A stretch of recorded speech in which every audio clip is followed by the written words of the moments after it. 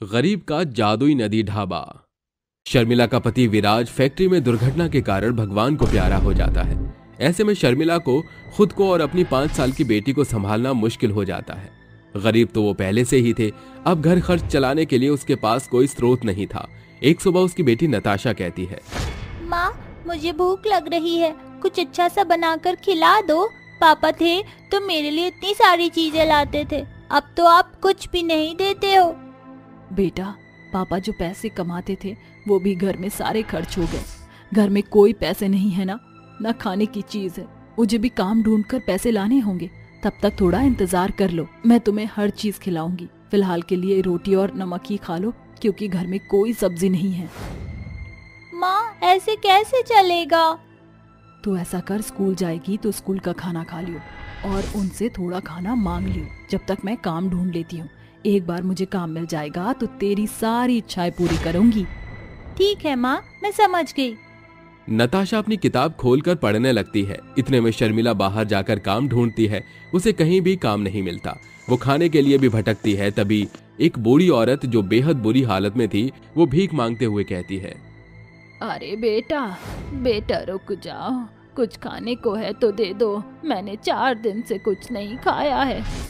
माँ जी मेरे पास तो खुद कुछ खाने के लिए नहीं है।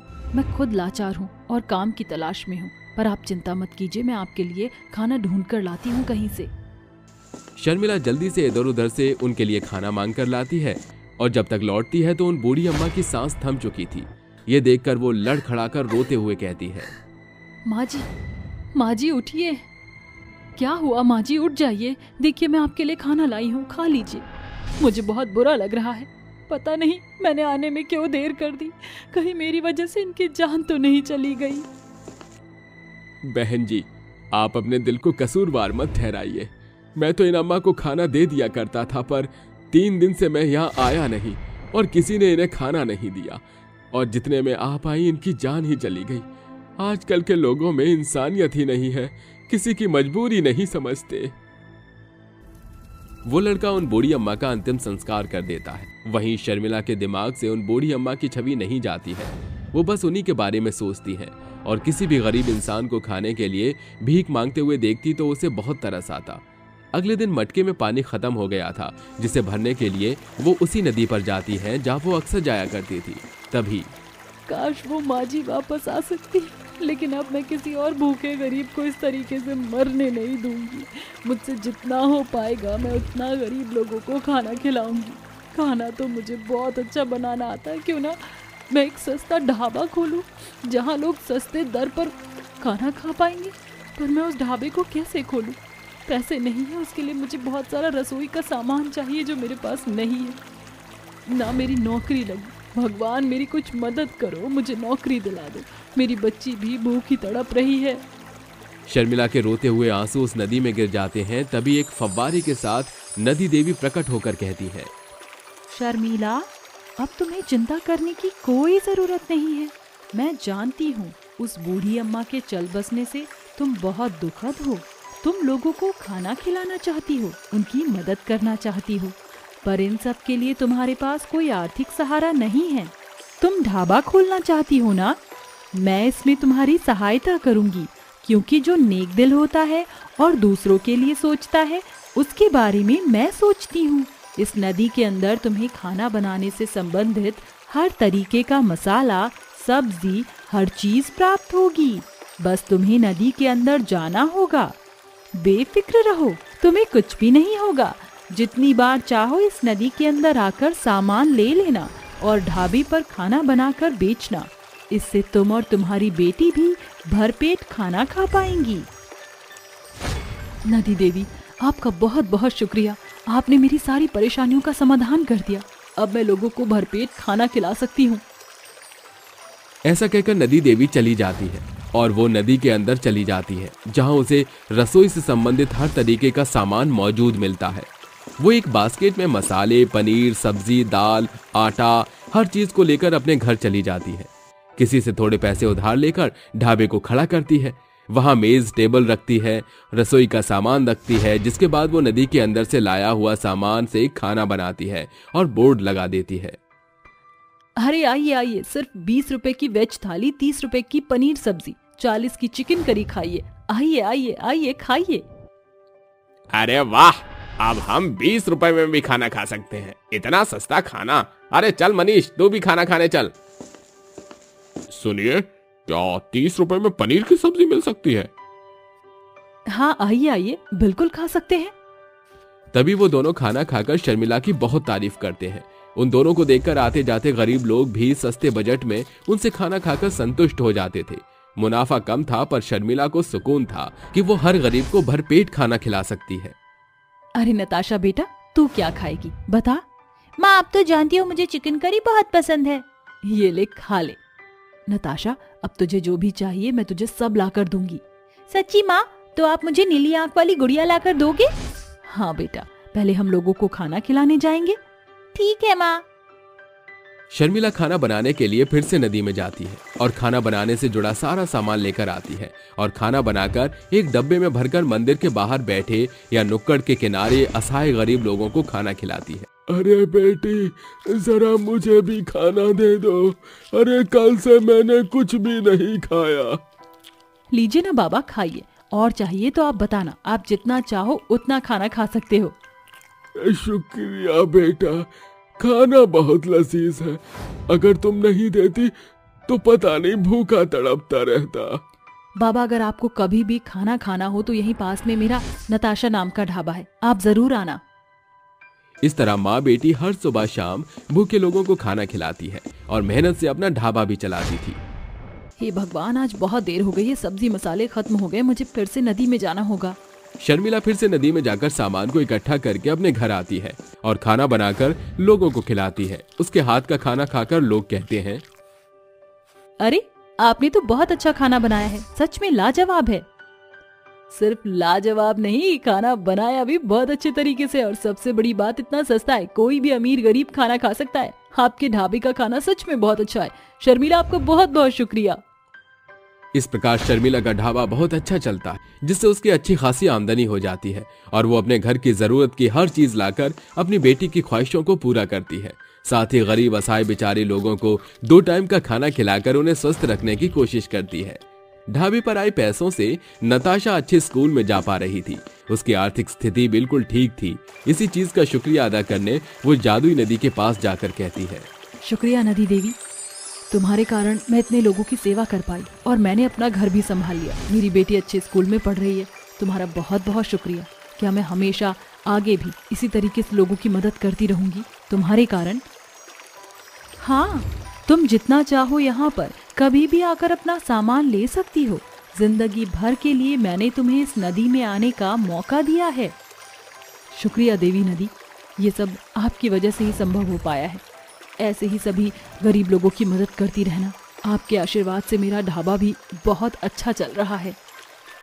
इस तरह शर्मिला अपने बच्चे के साथ खुशी खुशी रहकर और गाँव के लोगों की मदद कर ज़िंदगी बिताती है।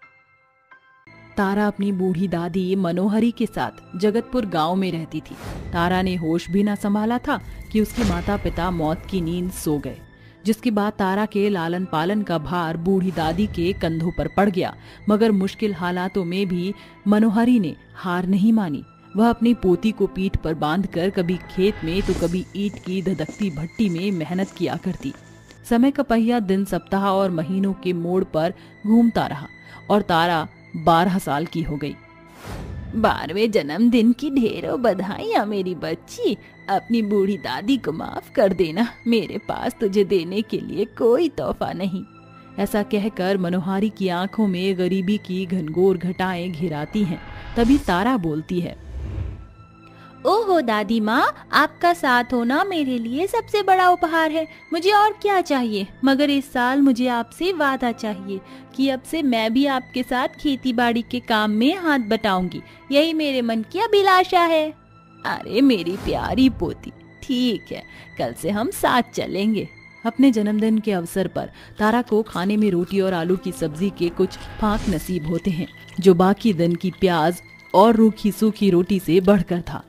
गरीबों का जीवन होता ही ऐसा है, जहाँ एक और ऊँचे लोग अपनी रईसी भरे रुझान की शान बनाए रखने के लिए खाने पर हज़ारों और लाखों खर्चने पर भी नहीं चूकते। वहीं गरीबों को कभी रूखा सूखा खाकर रात काटनी पड़ती तो कभी पानी पीकर ही पेट भरना पड़ता। देर रात जाग रही तारा अपने दिल की गहराई से कहती है, काश कि मुझे आज के दिन केक का और गुलाब जामुन लुत्फ उठाने को मिलता तो मेरा बर्थडे कितना बेहतरीन बीतता। मगर जो मुमकिन ही नहीं खामा खा उसके ख्वाब क्यों बुनना? इतना बोलकर तारा मीठी नींद में घुल मिल जाती है। तभी घर के कोने में रखी उस पुरानी सी चक्की से तेजो में सुनहरी रोशनी प्रकाशमान होकर घूमने लगती है। तभी चक्की के पत्थर पर आँख, मुँह, नाक उत्कीर्ण होता है और वह चक्की जैसे जी उठती है। तुम्हारा हुक्म सर आँखों पर, तारा। मैं जादुई चक्की। तुम्हारे टूटे मन की मनोरथ पूरी करता हूँ। कल सुबह तुम केक का स्वाद ज़रूर भोगने पाओगी। इतने के बाद चक्की के अंदर से परात भरकर गर्मा गर्म गुलाब जामुन से भरी परात और स्वादिष्ट सा स्ट्रॉबेरी केक, जादुई सुनहरी चक्की के ऊपरी सतह पर प्रकट होती है। सुबह जब तारा चक्की पर यह देखती है तो उसकी आँखें इठला उठती हैं। अरे वाह, ये तो मेरी मनपसंद मिठाई है और केक भी। ज़रूर रात दादी माँ ने मुझे बोलते हुए सुन लिया होगा। तभी चक्की पर मिठाई और केक रख छोड़ा है। तारा खुश मन से अपने सवाल को सुलझा ही रही थी। तभी मनोहरी आँख मीचते हुए उठती है और तारा अपनी दादी से चिपट कर कहती है, इस बेनजीज उपहार के लिए बहुत शुक्रिया दादी माँ। आपने तो चक्की पर चार चाँद लगा दिए। जादुई चक्की से अनजान मनोहरी चिंता में पड़ जाती है। मगर अपनी पोती की आँखों में झिलमिलाती खुशी देखकर उसकी चिंता मध्यम हो जाती है। समय बीतता है। दोनों दादी पोती पूस के कड़ाके की सर्दी में काम पर निकल जाती हैं। जय राम जी की जमुना दास जी, आज कौन से खेत का खरपतवार साफ़ करना है? मनोहरी, अब सारे खेत एकदम साफ़ हैं। बस फ़सल की कटनी बची बाकी है। एक बार गेहूँ की बालियाँ पक जाए तो तुम्हें बुलाहट भेजूँगा। इसके बाद मनोहर ही अपनी पोती को लेकर खेत की डगर से होते हुए भूषण की भट्टी में आती है। भूषण भाई ईद के मन के पक गए हो तो मैं टोकरी दिला दूँ। माफ़ करना मनिहारी मौसी तुमने आने में देर कर दी। भट्टी पर बहुत मजदूर हैं आज इन्हें ही मेहनताना चुकाना भारी पड़ने वाला है। माफ़ करना अब इन मजदूरों के पेट पर लात मारना भली बात नहीं होगी ना? मैं समझ सकती हूँ भूषण। भूषण बड़ी ही सफ़ाई के साथ मनोहरी को भट्टी से रपा दफ़ा कर देता है और कुड़कुड़ते हुए कहता है हम्म, दो नाव में सवार होने वालों का ऐसा ही हश्र होना चाहिए। ज़रूर खेत में कटनी सोहनी का काम नहीं होगा। तभी मुँह उठाकर भट्टी पर आई थी ये मनोहारी मौसी। चारों ओर सर्द भरी ठंडी ठंडी हवाएँ बह रही थीं। दोनों दादी पोती की काया ठंड के कहर से काँप उठी थी। वह जल्दी जल्दी घर के लिए कदम बढ़ा रही थी, तभी बूढ़ी मनोहरी मन ही मन चिंता में घुली जा रही थी। सोचा था कि दिन भर खेत में बनिहारी करके सौ दो सौ दिहाड़ी बन जाएगी तो आटा दाल का मोल मिल जाएगा। भगवान जी जब चाहे हम गरीबों के पेट पर पाबंदी लगा देते हैं। मनोहरी के परेशान भागकर जादुई चक्की एक बार फिर जागृत हो जाती है, जिसके बाद उसके केंद्र से निकल रही सुनहरी चमक से पूरा घर जुगनू के जैसे रोशनी छिटक जाती है और छप्पन भोगों से भरी हुई एक थाली चक्की से बाहर आती है। मुझे उनके कदमों की आहट सुनाई दे रही है। अब मुझे पत्थर में स्थिर होना होगा। जैसे ही मनोहरी और तारा घर में घुसती हैं तो जादुई चक्की पर रखे छप्पन भोगों से भरी थाली देखकर उनकी सूनी आँखें चकाचौंध उठती हैं। दादी माँ, ये हमारा घर खाने की खुशबू से कैसे महक उठा है? जैसे यहाँ हलवाई ने डेरा डाला हो। अरे वाह! चक्की पर कितने सारे स्वादिष्ट पूरी पकवान से भरी थाली रखी है। मेरे मुँह में तो पानी आ रहा है। ये कैसे मुमकिन हुआ? घर में तो अनाज का एक भी दाना नहीं था और चूल्हा भी सूना पड़ा था। फिर ये कैसे हुआ? आओ ना दादी, माँ खाना खाते हैं। जादुई चक्की के बदौलत दोनों दादी पोती एक अरसे बाद छप्पन भोग खाती हैं। ऐसे ही दिन बीतते जाते हैं। जादुई चक्की भोर की पहली पहर को अपने अंदर से निश दिन उन्हें भोजन मुहैया कराती। ये सब कुछ मेरी समझ से परे होता जा रहा है। इस चक्की के ऊपर खाना आखिर आता कहाँ से है? ये भगवान की लीला है या नहीं? आज रात मैं ये जान कर रहूँगी। उस रात मनोहरी जादुई चक्की पर नज़र गड़ाई थी। तभी भोर के चार बजते ही जादुई चक्की चलने लगती है और सुनहरी चमक पूरे घर में इठला उठती है। तो तुम वाकई में जादुई चक्की हो? इसमें आश्चर्य कैसा? मैं तो बरसों से जादुई चक्की हूँ क्योंकि मैं जादुई पत्थर से तराशा गया हूँ। मुझसे तुम्हारी दुख और गरीबी नहीं देखी गई। इसलिए मैंने तुम्हारे भूख मिटने का भार खुद पर ले लिया। मैं खाने खजाने दोने का वारिस हूँ। तो क्या तुम हमारी गरीबी मिटा सकते हो? क्या हमें इस गरीबी के गड्ढे से बाहर निकाल सकते हो? हाँ बिल्कुल। इतना कहते हुए जादुई चक्की सुनहरी चमक से भरकर अपने भीतर से खरे सोने के सिक्के झमाझम बरसाने लगता है और सिक्कों की खनक से तारा की नींद टूट जाती है। इतने सारे सोने के सिक्के? ये तो चक्की के अंदर से निकल रही है। ये कैसा अजूबा है? चाहो तो तुम मुझे जादुई चक्की को आठवां अजूबा बुला सकती हो तारा? तुम तो इंसानों की तरह बात भी कर रही हो। दादी तो कहती थी कि पत्थरों में जान नहीं होती फिर ये पत्थर की चक्की कैसे बोल रही है? क्योंकि मैं जादुई चक्की हूँ तारा। इसलिए मैं चलने के साथ बोल भी सकता हूँ। वक्त मेरे हाथों से छूट रहा है। अब मैं अगले 24 घंटे बाद ही जादुई चक्की के अक्ष में जाऊँगा। तब तक के लिए अलविदा। तुमने हम गरीब बेसहारा की भूख मिटाई है। जादुई चक्की हम तुम्हारे एहसान मंद हैं। ये तो मेरा फ़र्ज़ था क्योंकि तुमने जो मुझे अपने घर में पनाह दी ये धन उसका ही प्रतिफल था मनोहरी। एकाएक जैसे ही सूरज बादलों की गोद से बाहर आता है सुबह की किरण छट जाती है जिसके साथ जादुई चक्की स्थिर हो जाती है।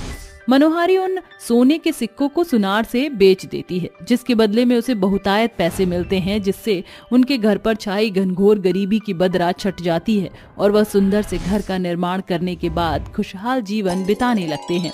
साथ ही जादुई चक्की की मदद से बेसहारा लोगों की मदद के लिए बढ़ चढ़ कर हाथ बढ़ाते हैं।